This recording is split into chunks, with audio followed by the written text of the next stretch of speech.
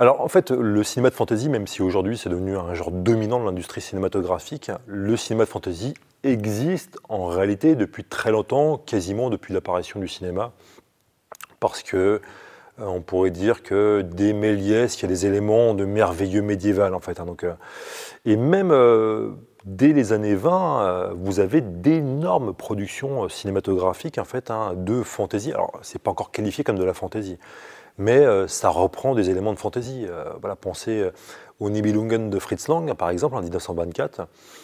C'est un film qui mobilise déjà des effets spéciaux gigantesques pour l'époque, qui en fait fait enfin plusieurs heures en fait. Hein. il y a deux films en fait, hein. donc on est, c'est pas encore la trilogie du Seigneur des Anneaux, mais quasiment en fait. Hein. donc c'est vraiment des très grands films. Il y a aussi Le Voleur de Bagdad en fait à peu près à la même époque. Donc euh, où là c'est de la fantaisie orientalisante en fait, hein, mais c'est de la fantaisie, il y a de la magie, euh, il y a des créatures merveilleuses. Euh, Et pareil, dans, les, dans, le film de Fritz Lang, il y a évidemment le dragon en fait, donc, qui est une espèce de mannequin manipulé par plusieurs opérateurs et tout. Donc il y a vraiment un énorme investissement pour ces films-là, et donc déjà ce sont déjà des super productions. Euh, il y a aussi, par exemple, Le Magicien d'Oz. Hein. Le Magicien d'Oz, donc, euh, donc euh, film comédie musicale qui sort en 1939, par exemple. C'est un film qui a un énorme succès à l'époque. Et puis, vous avez Disney. Disney, les premiers dessins animés Disney sont quasiment tous des dessins animés de fantasy d'ailleurs. Un des premiers dessins animés Disney s'appelle tout bêtement Fantasia. Donc on a un genre qui existe depuis très longtemps. C'est un genre en plus qui se diffuse très rapidement parce qu'il n'y a pas que les anglo-saxons qui font de la fantasy. Vous allez avoir, euh, vous allez avoir euh, euh, en, Russie puis Union soviétique, vous allez avoir des films de fantasy dès les, années 50 hein, et parfois aussi des très grosses productions, mais qui sont inspirées plutôt de la mythologie russe ou de la mythologie finlandaise en fait, hein, donc avec le, le Kalevala. Vous allez avoir aussi euh, des euh, films de fantasy en Inde, très rapidement, euh, mais là pour le coup inspirés de la mythologie locale, donc le Mahabharata. Vous allez avoir aussi des films de fantasy au Japon, en Chine, et assez rapidement. Alors ça va passer parfois parce qu'il y a aussi le problème, c'est le problème des effets spéciaux. Donc on va passer parfois par la case en fait film d'animation, ce qui permet de contourner la problématique des effets spéciaux.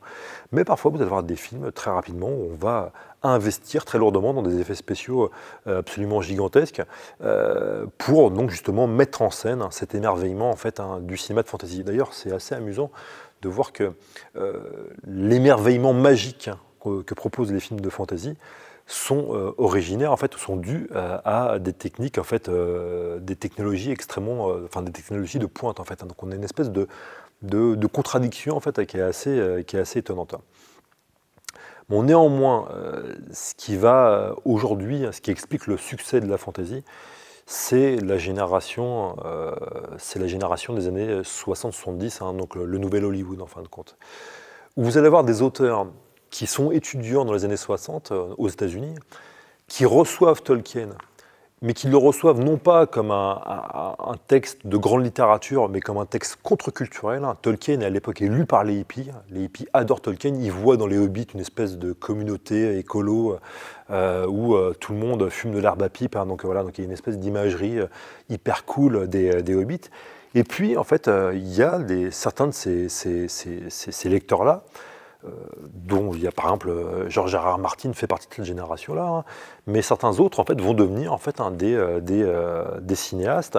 je pense notamment à, Ralph Bakshi en fait hein, qui va proposer en fait en 77 un, comment, un, dessin animé qui va être un dessin animé vraiment, vraiment fondateur qui s'appelle Les Sorciers de la guerre, hein, dans lequel il y a une espèce d'opposition binaire entre d'un côté la magie qui est positive et puis la technologie en fait qui est négative. Donc euh, Bakshi, l'année d'après, hein, euh, il va, et Bakshi d'ailleurs était quelqu'un qui était assez proche de George Lucas. Hein, donc, euh, il, y a, tout un milieu hein, dans lequel la fantaisie grenouille, et puis la fantaisie devient vraiment une espèce de genre contre-culturel qui est là pour s'adresser à, des adolescents un peu en révolte, quelque part. Et puis Bakshi, juste l'année d'après, va produire la première adaptation cinéma du Seigneur des Anneaux en dessin animé, qui est une proposition qui est assez intéressante. Et puis, bah, au cours des années 80, vous allez avoir de plus en plus de films, mais qui sont des films, encore une fois, assez contre-culturels, ou qui passent par les, la, VHS, ou euh, qui ne sont pas encore des, grands... Des grands des grands cycles comme on connaît aujourd'hui, mais euh, qui vont euh, marquer euh, durablement. On pense notamment au film Conan, donc le premier qui est tourné par Milius en 1982. Mais à cette époque-là, encore une fois, ce film-là s'est perçu comme une espèce de péplum augmenté, quoi, donc avec, avec des, créatures, des créatures magiques. Hein. Donc il y a, encore une fois, une imagerie assez contre-culturelle de ce cinéma-là. Et puis, hein, au bout de 10-15 ans, eh ben là, pour le coup, les grands studios vont commencer à se dire, tiens, il y, a une carte à jouer. Hein. D'autant plus que les, effets spéciaux ont, euh, comment, euh, euh, ont, comment, ont réussi à devenir meilleurs avec le temps. Et donc les, comment, les, grands studios vont laisser leur, leur chance aux, grandes fresques de fantasy, à commencer par Le Seigneur des Anneaux, donc en partir de 2001. Et c'est d'ailleurs la même année que sort aussi Harry Potter. Et là, pour le coup, il y a une explosion qui est absolument extraordinaire, vu que depuis que la trilogie du Seigneur des Anneaux est sortie euh, sur les écrans donc en 2001 jusqu'à aujourd'hui, sur, en, gros, une dizaine d'années,